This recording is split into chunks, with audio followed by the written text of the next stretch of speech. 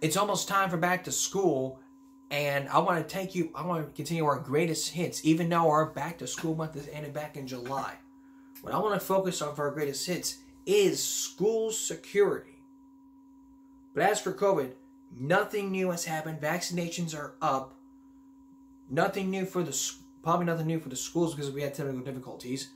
But uh, we'll keep you posted on we'll we'll keep you more COVID as it as it probably happens. But uh, I want to still focus in on safety because after Uvalde, school districts and the governor responded by the governor responded by by, by having weekly inspections. So here's what the here's an example from the CCISD police chief.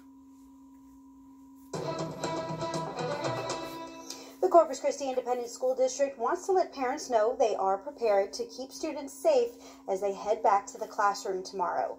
District Police Chief Kirby Warnke says the governor gave an extensive checklist of things he wanted school districts to do before the first day of classes. He says today he was happy to report to the school board that the list was completed. One of the most important ones is a physical check of every single exterior lock in CCISD, which is a tall order because we have quite a few. Warnke says work orders were placed for locks that had any issues, and the district will be checking every exterior lock weekly. He says they also did partial school safety audits and planned all of the safety drills for the school year. But there was one person that hadn't that had a problem with it. That, probably had an issue with it as John Lagoya of the school. Now remember, if you watch the show, you may recognize he was the one who complained about the homework. About the homework. So uh, let's take a look at this. Take a look at this clip. Imagine yourself on the iron throne. Because school security is taken taken like very seriously here, and if we don't take school security very seriously, we don't know what we're going to end up with. Take a look. The Police Chief, Chief Kirby Warnke, telling school board members the district is compliant with safety requirements set forth by the state following the tragedy in Uvalde. However, board member John Longoria tonight brought up a concern during the meeting, telling Warnke as he drove past a local elementary school that he noticed one of the self-closing gates was propped open as employees were going in and out. He says while no students were on campus, it is a cautionary reminder that it will take a full effort of employees to grasp the concept that is a safety issue. Propping doors that they have passed, especially in schools, uh, there, there's just no room for human error. Following a recent safety policy approval by the board that forces all doors, including classroom doors, to remain closed and locked during the school day, Warnke told school leaders that if caught, an employee or a teacher not following that policy can now face disciplinary action. Well, that kind of sums it up. If a teacher does not follow it, so disciplinary action. It's like this: you didn't follow a safety policy, get out. You're you're done. I'm not throwing you under the bus. All I'm saying is like how it how it would have happened, how it could happen because school security is taken is taken very seriously. Very seriously. School security and safety is taken very seriously. And speaking of the camera, and speaking of safety,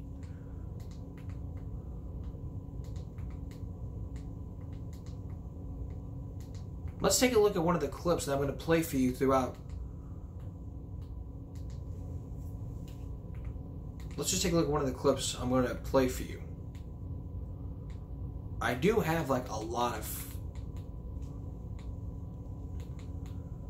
There is one with the camera issue. see if I can find it.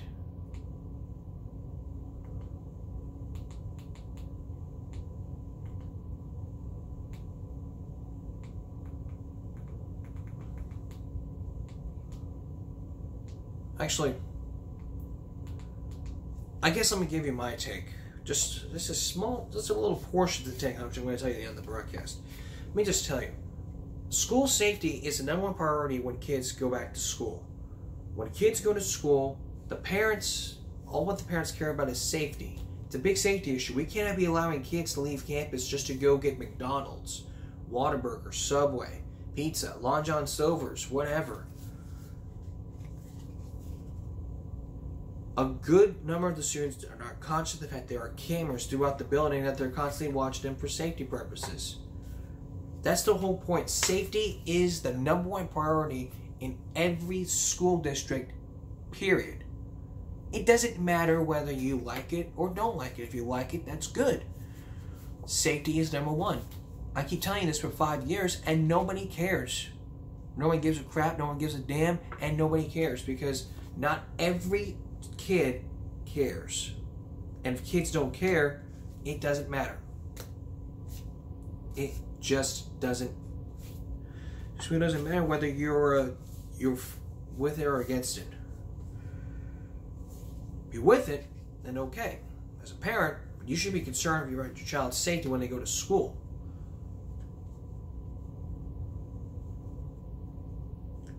Okay. Gotta take a little break here. When we come back, more about school safety. Then, updates from Oxford and Uvalde as we continue our school safety. Later on, summer break. Lifeguards behaving badly. Coming up. As we start to end, as, school, as the school year begins, let's start to focus in on those school zones. I see people I see people almost all the time speeding in a school zone when the sign says school, speed limit 20. You're not supposed to speed in the school zone. That's why these are created for a reason to help to be safe for everyone. But uh not one person cares because they're in a hurry. It's like the speedway is going on. Does that scare you? If that doesn't scare you, that's like someone getting ready to ride a motorcycle edge of Grand Canyon. This worry you? Does it scare you? Nah. Oh, hell no. Boom, boom. that tells me you don't care. This is ridiculous. If you keep speeding, you're gonna have you're gonna be paying tickets, paying fines. I mean, you look up speeding in a school zone, which I'm gonna do right now. Speeding in school zone ticket. It's ten dollars per mile over the speed limit. Twenty if you're over the school zone. You also have to pay court costs. But if you're going over 94 miles per hour, you'll have to call the court to find out how much you owe. And what's the fine?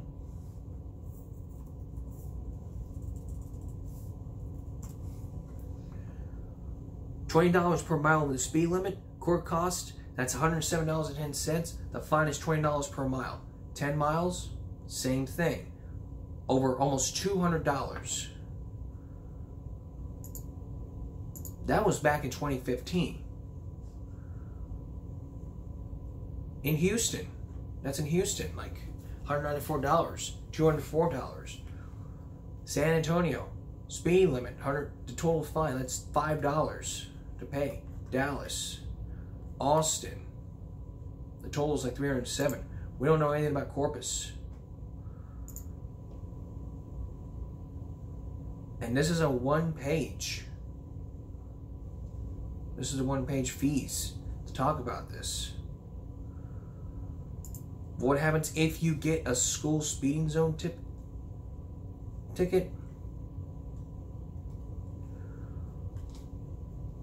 If you avoid this, there's no reason, there's no rocket science avoiding school zone. All you need to get, you're going to go switch school zone speed limits your area or state. Once you find these figures, memorize them, make sure you follow them religiously. These, these speed limits are to protect children and people on foot in school zones. Take extra precautions during certain weather conditions such as rain, snowfall, and fog. It can make you harder to see ahead. Therefore, you must drive slow and avoid any accidents. In addition to that, you may want to always try to stay vigilant around pedestrians, cyclists, crossing guards, children roaming around, and even stop school buses. Do this day in, day out, and you will be golden, according to Ticket Void. If you want to fight this, you got unlucky. Well, in this case, just follow the steps like note down location, note down the speed, contact the school at the location to find out if the school was in session at the time you received the ticket. Look out for school zone markers where they're clearly marked. Was there a tree, bush? Last but not least, you can hire a lawyer with experience in traffic ticket dismissal cases. That's only if you want to do that, but don't don't fight with don't fight with them. If you're issued a ticket, you're issued a ticket, but you got to pay for it. Here's John Thomas to tell us. John. And don't forget, back to school also means some changes to your daily drive. That means always be on the lookout when you're in school zones. Year-round districts such as London and Tuloso Midway started their school zones last month. The first day for school in the CCISD is tomorrow. We keep reminding you of that just in case you're hitting the snooze button. That means slow down and look out for anyone who may be crossing the street. That's right.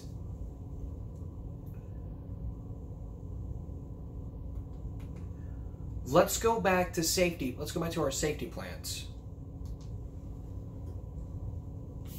So glad we're finally on vacation. Yikes.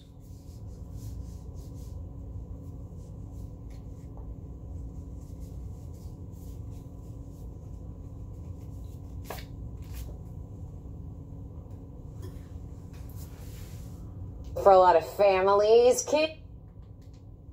Well, this was a really big day for a lot of families. Kids have started to head back to school. Several school districts started classes today, including Alief ISD, New Caney ISD, and Livingston ISD. And also, part of our back to school coverage tonight, we're talking about school safety. We're seeing more and more school districts working with local law enforcement agencies to improve security on their campuses. KPRC2's Kathy Hernandez live in the newsroom right now with a closer look at one of those partnerships. Kathy? Good evening. Precinct 4 up in North Harris County is teaming with six local districts to make sure every school is protected.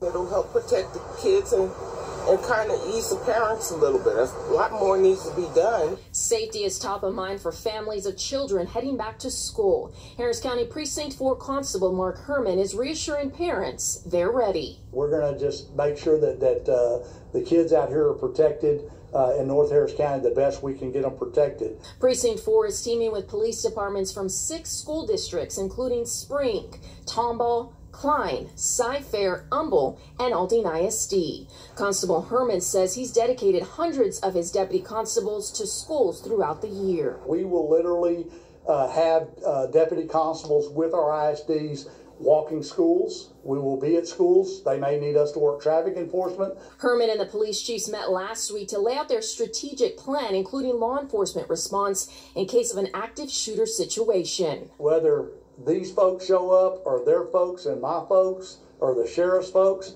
the main objective is to neutralize that threat, period. One mother says we all need to work together to ensure students are safe. It can't just be the police department. It has to be a community effort and the Congress people that we put in place to help with situations like this. And the constable says they're also adding additional deputy constables to private schools and daycares within Precinct 4. Reporting live in the newsroom, Kathy Hernandez, KPRC 2 News. And school safety is important. Alright, do you ever trust lifeguards? The ones who are hot and buff and they're red, red like on Baywatch? What do you know when they're really smoking? Coming up, when we come back. Rita Knighting looks into those lifeguards, including a lifeguard who is sharing, who is blowing the whistle on things that you don't want to know. Really, you just don't want to know what the lifeguards are doing, whether they're smoking, whether they're just out in the core and off duty. You're also going to meet a meet someone who knows about the lifeguards, but secretly records them on camera. Don't go away. I want to follow you up on a story we're still following. Two stories we're still following. Let's go to Uvalde. Here's the latest from Uvalde. Of the summer break is right around the corner, but the thought of returning to school again is especially hard in the Uvalde community. Just over two months ago, 19 little students and two teachers were murdered inside Robb Elementary School there. And so the district is preparing to welcome students back and hoping to ease some of those concerns. The school board is now holding a meeting tonight to talk about improving the safety and security of campuses, as well as how it's preparing to handle the emotional needs of staff and students. In response to the tragedy, the district has also announced two new positions, one called a Director of Recovery, the other, the Director of Special Projects, which will oversee trauma care counselors as well as improvements in safety and security. Tonight's meeting is open to the public there in Uvalde. Uh, teachers can return to school there uh, as of tomorrow. Meantime, the principal of Robb Elementary has accepted a new position. Mandy Gutierrez will now be the Assistant Director of Special Education at the Uvalde School District. The uh, district informing parents of the news in an email late Friday. Christy Perez, the former Assistant Principal of Uvalde High School, will serve as the new principal now at Robb Elementary. That's the start of this year. Now, what about Oxford? Well, just hours ago, there is now new evidence that caused an outrage in the Oxford community. Over the weekend, school board president Tom Donnelly added fuel to the fire by criticizing parents of shooting victims, saying they are trying to divide the community, in his words, by taking events during the shooting out of context and going public. The parents watched the surveillance video last week showing them in the Oakland in the prosecutor's office. They responded they responded they saw what they saw, facts are facts, and board president has not watched that video. Four students were killed, seven others, including a teacher, during the shooting November 30th. The new evidence just came out after a civil lawsuit was filed by parents. They want to include the armed school security guard. They say that the security guard could have prevented the death of one student, Justin Schilling. The father spoke out in a news conference saying, It's just so difficult that he could just still be there if somebody did the job. That somebody could be the, could have been the security guard. Parents say the guard has been looking at Tate Myre on the floor in the hallway bleeding. The guard thought it was just a drill and the blood was just makeup. Inside and and even the bathroom. That's where the security guard was in the in the boys' bathroom. Pulls her gun, went to the boys' bathroom. There were alleged shooter Ethan Crumbley, Justin Schilling, and Keegan Gregory, who was able to run out. The mother Megan watched the video, and her son tells Action News today, and you just want to see it and see what I see? It's insulting. I watched the videos. Facts are facts. In an email, the school president said in part, that's why isolating sick woman in this video out of context does a disservice to our staff members and the entire community. We will not let that happen, nor we will allow these acts to distract us from our mission promoting healing and providing a world-class education to our children. And now there's going to be an Oxford school meeting that's going to happen tomorrow night, 6.30, at the Performing Arts High School. The judge in the civil suit will take the issue adding the, adding the school security guard in the lawsuit hearing on Wednesday, and we'll bring you the latest. In that full statement, safety concerns still be a priority, and I'm so proud of the numerous safety updates and security measures we are taking to ensure a safe return to school. We'll highlight these measures as our Town Hall and open house. When we come back, lifeguards at risk, meaning high on drugs. We'll, we'll show you. We'll show you some instances of what happened when lifeguards are not on duty. And you also meet a person who secretly records them and gives us the rules of lifeguards. We're going to tell you what those rules are when we return. Don't go away. Did you have a good summer? I hope you did at the pool or at the beach. But what about those lifeguards, those men and women perched above the pool? And we appreciate them. No doubt about it. Tonight, we're going to take you Tonight you're going to meet someone who is blowing his whistle about the confessions that no lifeguard wants to know. You'll also meet someone who secretly records lifeguards as part of his job. But the question is, what are some of them really smoking? What are they really doing? Here's Rena Nine. It's the 4th of July, and with the sun finally shining and temperatures sizzling, it's time to hit the water. And these are the young men and women charged with protecting our lives while we swim. One, two, three, four. Lifeguards, buff, busty, and brave, ready to jump in at the first sign of danger. Right? Well, maybe not always. Sure, they may look hot in their signature red bathing suits, ripped abs, and tan torsos like on Baywatch. But what do we really know about the dudes and dolls behind the shades? It's the start of swimming season, and you're outing secrets that people don't want to know. Meet 23 year old Harris, a former lifeguard at several pools in Texas. Tonight, he's blowing his whistle on the secret practices that he says sometimes occur high atop the lifeguard stand. And we do mean high. Are lifeguards using drugs? Yes, there were a couple of lifeguards who smoke weed before coming into work, or they would be um, still rolling from the night before. That's something many lifeguards confess to us. And according to Harris, at one pool, not only were lifeguards coming in hungover, they would blaze up right on the job. They check chemicals. Checking chemicals, it's a code word. Yes. Normally, when you check chemicals, it's to check the pH, but what they were doing is they were going back and smoking weed. There are kids whose lives are potentially in your hands and they're getting high. Yes, it's very irresponsible. It's doubly troubling, Harris says, because actually checking the chemicals is really important to keep the pool sanitary. As they say, what happens in the pool stays in the pool. If you're going to the pool, don't go at the end of the day because it's full of urine and it's really quite nasty. Ugh. How do you know that? Um, you can tell by the color. At the start of the day, it's really, really a pretty blue. At the end of the day, it's it's more yellow. Ick factor aside, discolored water can pose a more hidden health hazard. It makes it harder for lifeguards to see people. Take the tragic case of mom Marie Joseph. Look at this security video. That's Marie coming down the slide. Her head bobs above the water for a moment before she sinks to the bottom of the pool. Multiple lifeguards were on duty, including this one directly in front of her. I just don't see how they missed it. Somebody wasn't doing their job. But the water was so murky, none of them noticed her submerged body. See here as the pool went from blue to dark green. An investigation later revealed that a pool manager held off on chlorinating the water to reduce costs. Water is really strange. Either you're having fun or you're dying. Roughly 4,000 Americans drown each year, and one in five children who drown in swimming pools do so with a lifeguard present. Surveillance cameras caught this 15 year old drowning after going down this water slide.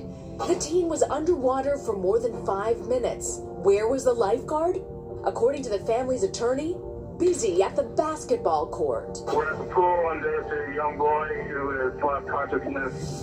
By the time someone finally noticed the kid at the bottom of the pool, it was too late.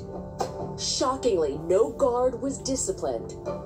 It's silent, it's quiet, and it's sudden. Kathleen Puchinsky's four year old son drowned at this ritzy country club pool. Let's just say my son was found 10 feet from an empty lifeguard chair.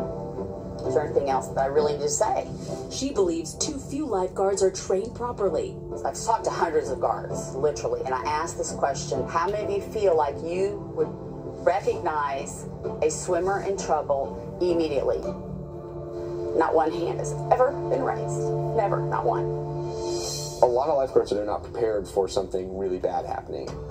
And here's the thing it's actually quite challenging to spot a kid drowning, as I found out for myself with a test dummy named Timmy. I've got my underwater camera on. They're gonna hide the mannequin Timmy somewhere in the pool. I've got to find it. How hard can this really be?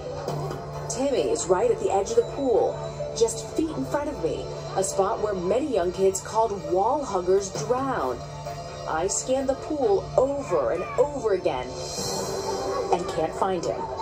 This mannequin was not in my line of sight at all. I can tell you, I never saw it. Never once. Getting ready to start an aquatic facility operational audit. Meet Rat Carroll. He's no ordinary water park guest, but rather an undercover boss, the head of Ellis and Associates, a lifeguard training company.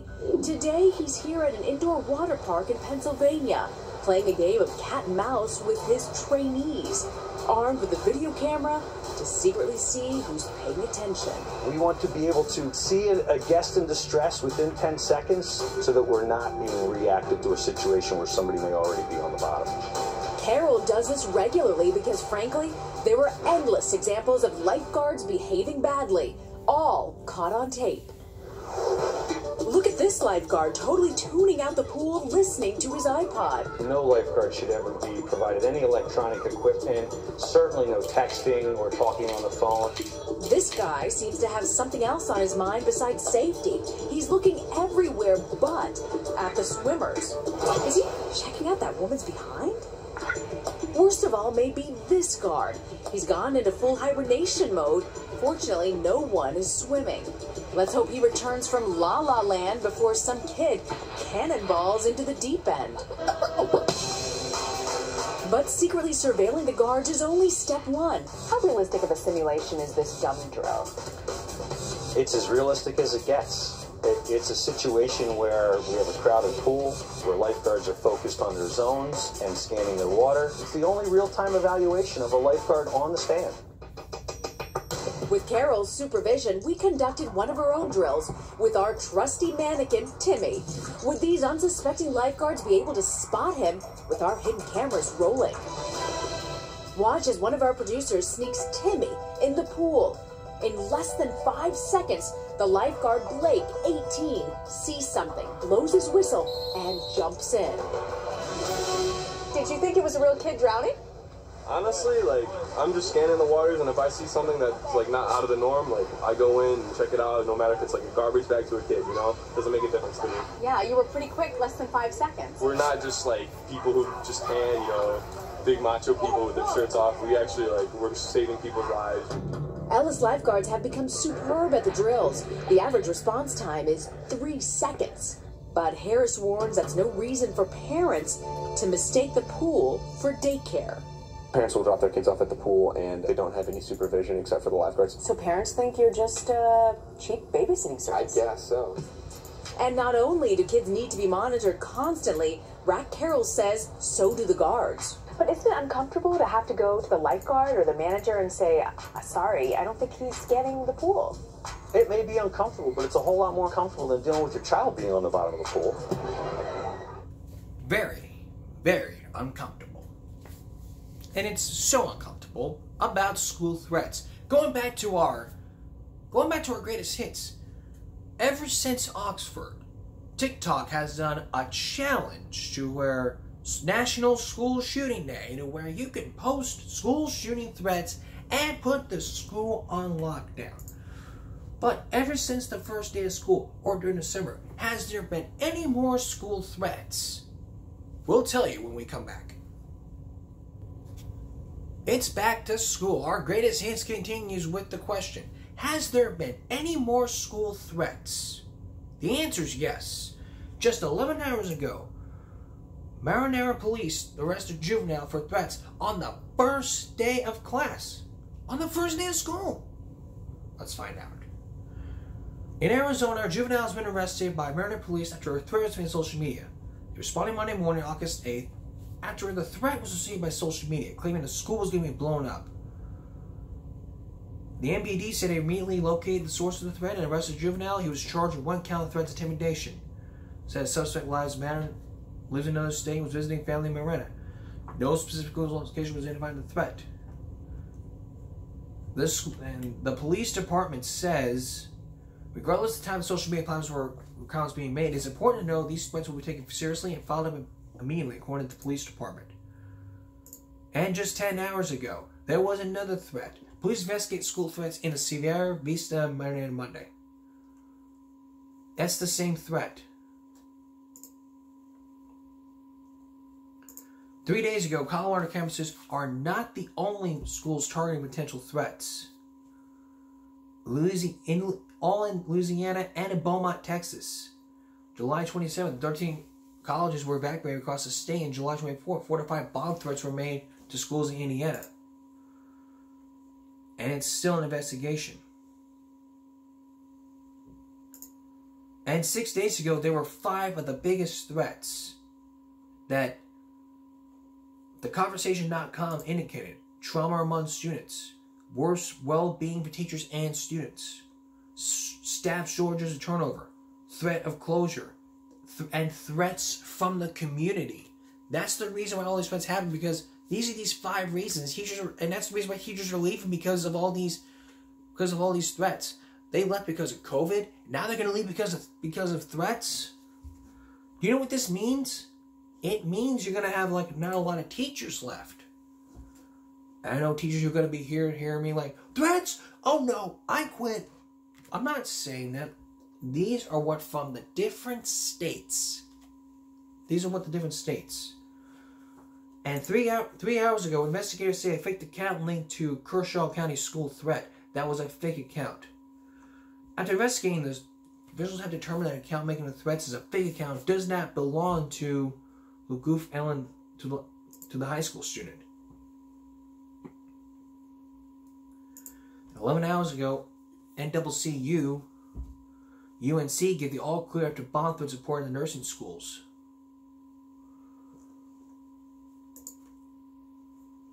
I mean, more threats are happening. Last month, the 10 year old Florida kid, Daniel Marquez, was perp walked for school shooting threat and pleads not guilty. He allegedly texted friends saying he had scanned one of a large sum of money and posted a stock image of guns alongside the post. His father's lawyers criticized, criticized the sheriff's office for publicizing the for publicizing bust and claimed these messages were misinterpreted. The boy's advocate, Lenny Cameron, the Foundation Against Intolerance and Racism, maintained the position of Money's appearance. That's the update from threats. That's all the schools we threats we can find. Don't threaten people. Don't threaten schools on your first day. It just ain't right. It's not right. This week is our season is our finale week. Our season five finale. All this week is finale week. We may catch up on some topics, and tomorrow is going to be the first. Tomorrow's the first day of CCISD, School of CCISD. Wednesday for Flour Bluff. And what you need to know for back to school. So this week is our finale week, which means what you need to know for back to school, which was already ended. But uh, we'll keep you posted on some issues from Uvalde to Oxford, and be in the very latest, like what's going to happen on Tuesday night. Tuesday night's going to be the board meeting, and we'll keep you, and we'll, and we'll have that for you on Wednesday. So for now, that's Give Me a Break for this Monday. We will see you again for Give Me a Break Wednesday. After all of us here, Give Me a Break and YouTube. Good night, everyone.